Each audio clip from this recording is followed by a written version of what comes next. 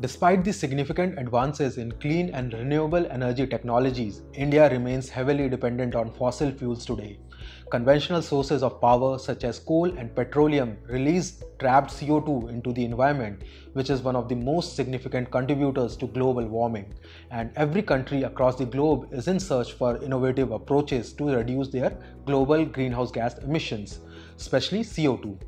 Though India is the leading country working towards sustainability, adopting greener technologies and renewable energy in its energy mix, the government has realized the need to back its approach with a policy framework that incentivizes such actions. The Green Credit Scheme, launched in June of 2023, encourages such voluntary adoption of green technologies and activities from individuals and corporations, while the other credit based policy framework, that is the Carbon Credit Trading Scheme or CCTS 2023, aims to regulate a select group of industries responsible for a substantial greenhouse gas emissions and incentivize them for CO2 sequestration and adoption of greener technologies. In this video, we will understand the key highlights of the CCTS policy and the concept of carbon credit trading. The Indian Parliament passed the Energy Conservation Amendment Bill of 2022, which modifies the 2001's Energy Conservation Act the Ministry of Power notified the carbon credit trading scheme and will soon be notifying the sectors obligated to comply with the regulations under this policy. This policy will ensure that a percentage of the total energy requirements of these identified entities comes from non-fossil fuel sources. The government will also release the modalities based on the Bureau of Energy Efficiency's recommendations. The Ministry of Environment, Forest and Climate Change will notify the emission intensity targets for obligated entities upon request of the Ministry of Power. Emission intensity is the total amount of greenhouse gas emissions emitted for every unit of GDP. Now, obligated entities will earn a carbon credit certificate if they surpass the target assigned to them.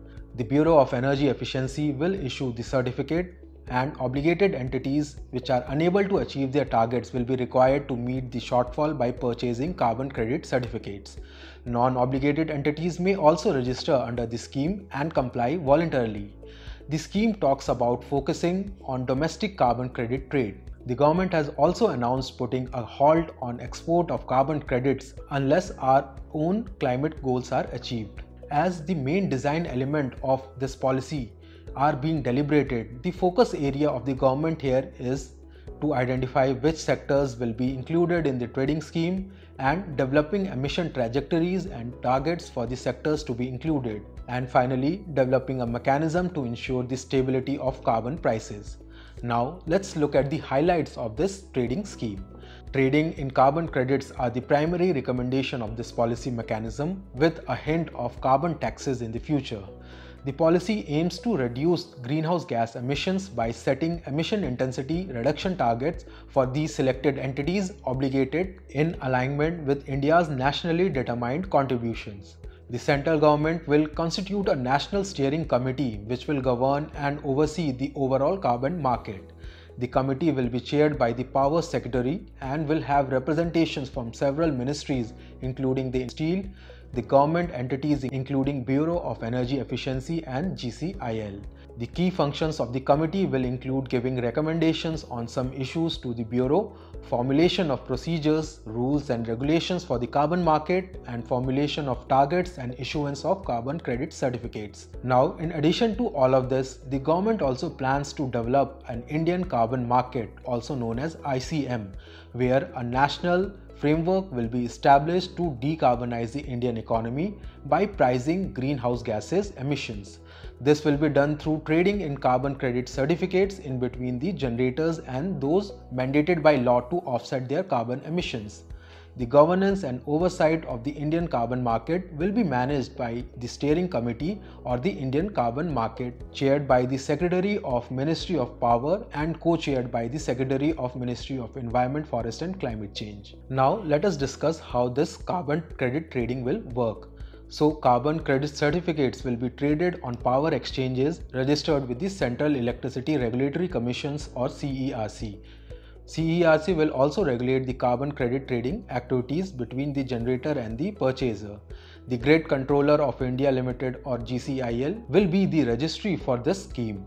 GCIL will also perform functions such as undertaking the registration of obligated or non-obligated entities and maintaining a record of transactions and share them with power exchanges and the Bureau.